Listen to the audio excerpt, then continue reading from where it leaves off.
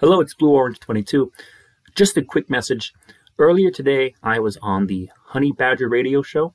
Uh, I put a link to the episode down below. Uh, had a great uh, conversation with Brian. Uh, thank you for having me. Uh, please check out their uh, channel. Um, we had a great conversation. We talked about various men's topics and men's issues. And something that came up, which a lot of people have been asking me about, um, am I going to go back on uh, the Majority Report, or is Sam Seder going to come on my channel? Um, it's open. The invitation is open. Uh, I've sent the email. Uh, I know he's publicly expressed a desire to do that. I've expressed a desire to do that. So um, we'll see. Uh, but uh, do check out the episode. Um, I want to start doing this more. You know, really kind of engaging more, um, more public debates, uh, more public discussions.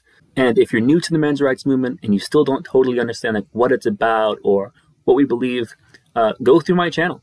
I have almost 200 videos, uh, different stories and issues uh, pertaining to um, the men's rights movement and various male issues all around the world. Uh, feel free to leave a comment, uh, ask any questions. my email is found on this channel's description. It's blueorange22 at gmail.com. So feel free.